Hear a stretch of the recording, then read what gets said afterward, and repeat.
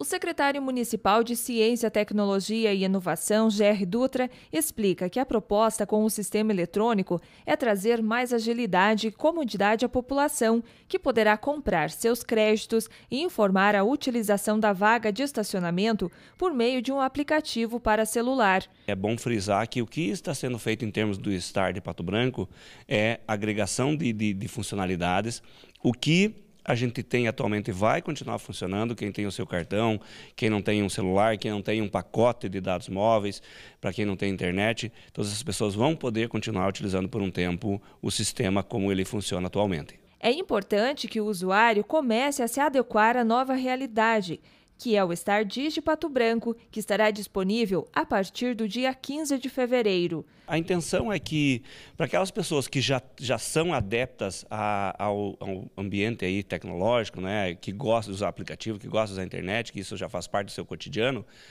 no sentido de facilitar, porque aí a pessoa não vai precisar ficar indo atrás de, é, do agente de trânsito, ele não vai precisar né, é, ter problemas aí depois para regularizar o, o, as suas multas. Então, com o aplicativo, ela vai conseguir fazer tudo isso. Né? É, acionar que está estacionada, fazer aquisição de créditos, vai receber alertas. Ou seja, é, a gente pretende facilitar já para uma parcela bastante significativa da, da população e certamente, né, com o passar do tempo, as outras pessoas também vão progressivamente estar aderindo a esse novo formato devido à comodidade, à facilidade, né, e é isso que, é, que se pretende com a instalação do STAR.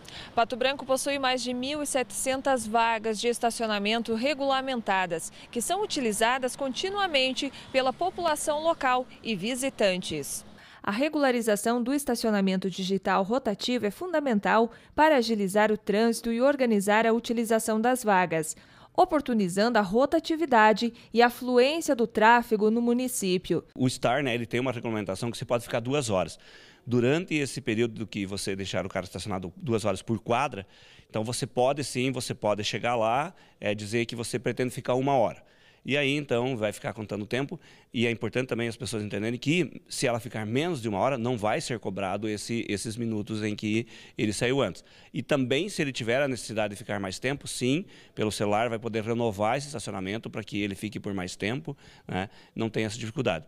E, e para as pessoas entenderem também com relação à fiscalização, que eu, eu, eu citei aí a facilidade para os agentes, eles vão estar passando com reconhecimento né, de imagens, aí as placas são reconhecidas, e aí aqueles que já estão fazendo uso do aplicativo já vai aparecer lá que já está regulamentado, né, e que ele então não vai precisar ficar fazendo aquelas anotações naquelas folhas como, como funcionava né, é, no, no modelo anterior. O investimento do município é de mais de 200 mil reais para garantir a operação do Star Digital. O aplicativo estará disponível para baixar na próxima semana, ou seja, última semana do mês de janeiro. A empresa vencedora da licitação está adequando o sistema conforme a demanda do município.